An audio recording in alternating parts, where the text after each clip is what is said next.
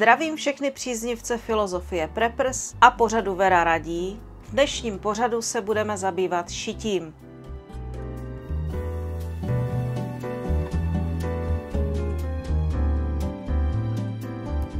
Jak jsem již přednesla v minulých videích, budeme se zabývat v rámci preppers schopností i šitím. Mělo to velice příznivý ohlas, což mi udělalo velikou radost. A těší mě, že tolik mužů i žen má zájem o základy šití obsahu našeho dnešního videa se budeme bavit o pomůckách, které potřebujete k šití. Jednoznačně k tomu nejzákladnějšímu, co si musíte pořídit a nebo poschánět z toho, co máte doma, abyste si mohli ušít jednoduchou věc.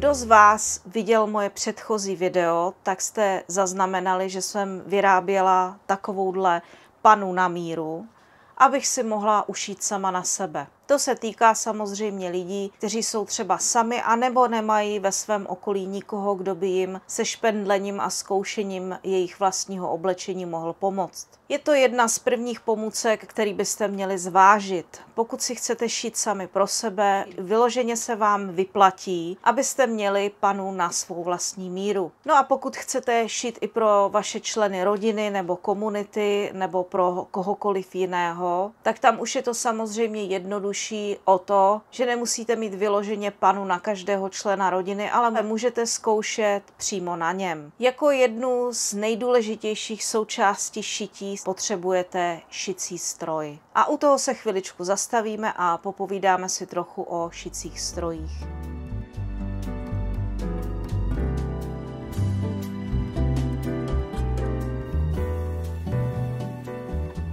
Šicí stroj bychom měli považovat za jednu z nejdůležitějších součástí našeho vybavení, abychom si mohli vytvářet své vlastní oblečení. Z hlediska preppers filozofie by vypadalo velice výhodně pořídit si starou šlapací singrovku nebo jakýkoliv šlapací stroj, protože když přihledneme ke katastrofické situaci a nebude elektřina, tak ten elektrický šicí stroj vám může připadat k ničemu. Ovšem v tomto bodu já bych nesouhlasila. Kdysi dávno jsem jako holčička začínala šít na panenky, šila jsem ručně, posléze jsem si chtěla šít taky sama na sebe a využila jsem k tomu staré singrovky, kterou měli moji rodiče. Ovšem i tuto starou singrovku můj tatínek kdysi dávno předělal na elektřinu. Bylo to samozřejmě výhodnější, rychlejší, přesnější, ale takovej šicí stroj neumí to, co umějí dnešní šicí stroje, které jsou buď mechanický nebo elektronický. Ať to vypadá divně, tak doporučuji začátečníkům, aby se rovnou učili na elektrickém šicím stroji. Proč elektrický šicí stroj? Tak za prvé, pokud máte jako my omezený prostor a nemáte tolik místa, abyste měli někde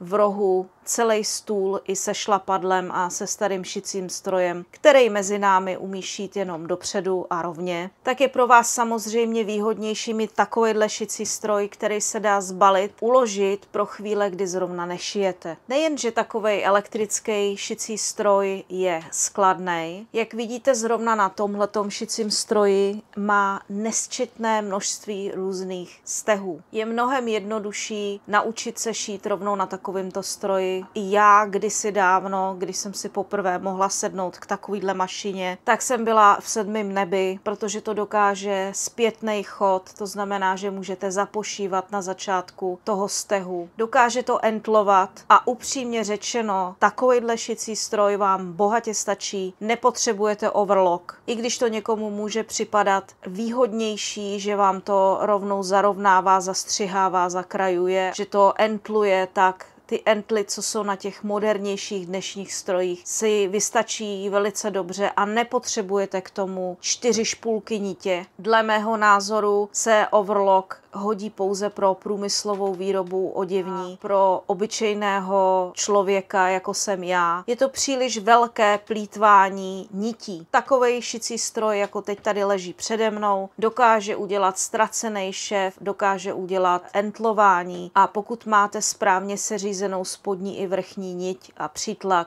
tak je to velice kvalitní a stačí to bohatě.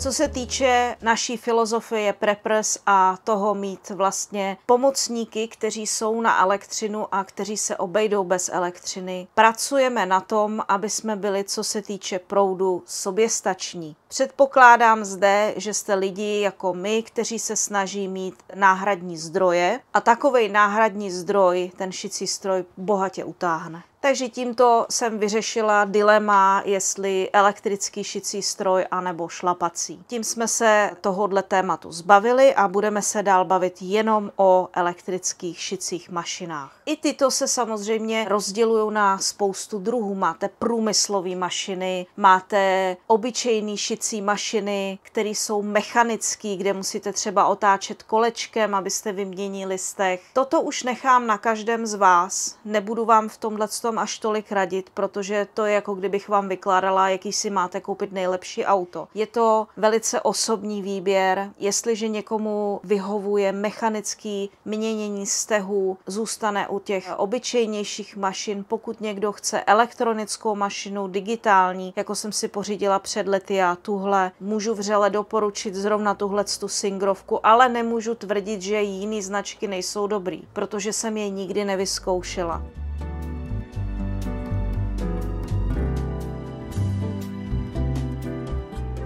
Možná je to tím, že jsem kdysi jako holka začala šít na Singrovce, která byla předělaná na elektřinu a u té značky jsem zůstala. Vždycky to pro mě byla taková známka kvality. Měla jsem i levnější mechanický šicí stroj od Singru, nebyl až zas tak kvalitní. Nemůžu říct, že by to nedělalo to, co tvrdí, že to dělá, stehy jak má, ale nebyl až tak schopný prošít to, co jsem potřebovala. Bylo na něm vyloženě vidět, že to je takový ten levnější model. Pokud chcete zainvestovat a koupit si už takovouhle polo profesionální mašinu, tak vám to vřele doporučuju, protože tohle to zatím prošilo, kromě silnějšího denimu, znamená rifle a podobných věcí, absolutně všechno. Hodlám si pořídit od Singru mašinu, která je přímo heavy duty, a která prošije i 8 vrstev džínoviny, můžete s ní zašít zip do riflí a můžete s ní i šít pytlovinu nebo jiný hrubší, silnější látky, což se samozřejmě pro prepra, jako jsem já, hodí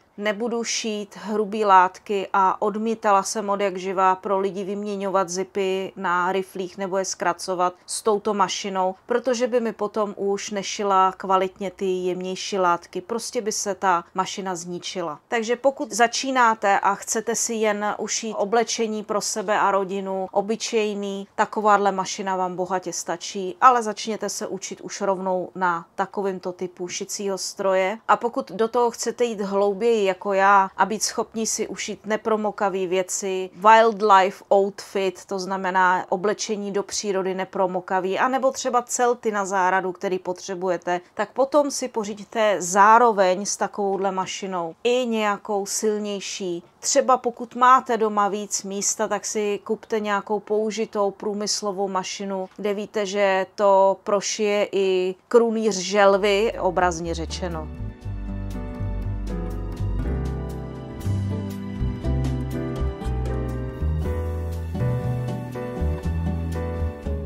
Doufám, že se vám dnešní video líbilo, že se těšíte na další videa a těším se s vámi na shledanou.